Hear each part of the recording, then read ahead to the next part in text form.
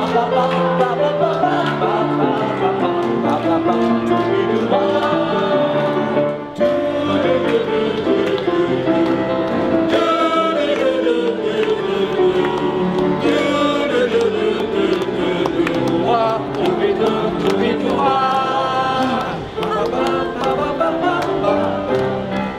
ba